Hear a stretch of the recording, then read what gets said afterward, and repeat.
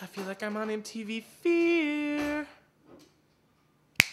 Oh, good. The sounds off. Ah, yeah! You're the one person I've met in Minnesota that knows that fucking show. That was the original ghost hunting shit, man. Everything else is bullshit.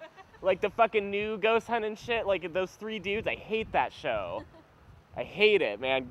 Fear's where it's at. I would do that shit in a second. Believe me. Anyways.